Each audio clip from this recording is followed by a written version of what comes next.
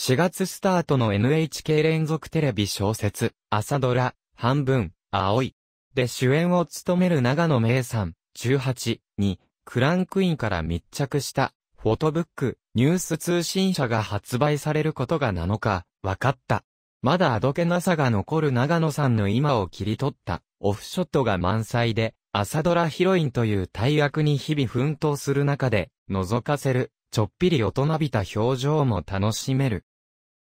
ドラマの舞台となる、岐阜県東部と、東京のハウススタジオで撮影され、長野さんは、普段のお芝居をしている時の表情もあるし、メイクをして、衣装を用意してもらって、作り込んで撮ってもらったカットもあるので、この本を見れば、ありのままの、今の私がわかると思います。とアピールしている。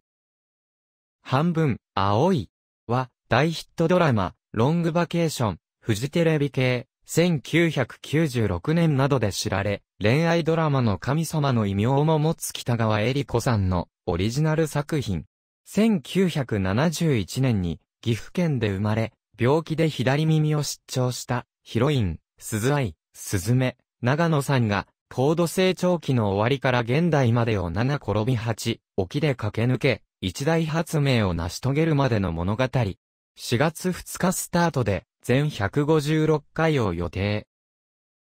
2018年度前期連続テレビ小説、長野名イン半分、青い。フォトブック、仮は4月2日発売で、価格は1600円、税抜き。スタッフインタビュー、キャラクターストーリーの紹介、美術や衣装の注目ポイントも掲載される。